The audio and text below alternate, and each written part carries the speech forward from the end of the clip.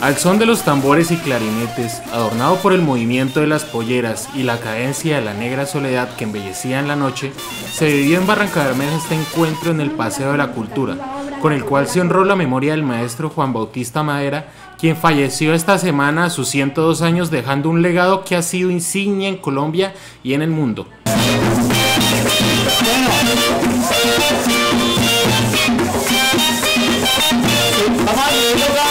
Amparo Madera, hija del homenajeado maestro, resaltó y agradeció el espacio a su padre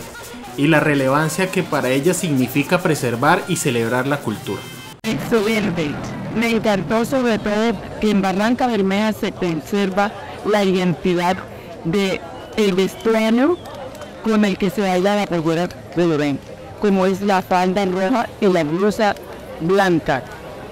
Eso me parece excepcional porque hay muchas versiones de faldas y esta es la clásica, la, la, o sea, la que dice que un día ese compositor medio de la canción más icónica de Colombia fue inspirada y le el nombre de Cultura. El evento no solo sirvió para recordar la figura de Madera, sino también para reforzar el compromiso con la cultura y las tradiciones que él defendió y celebró a lo largo de su vida.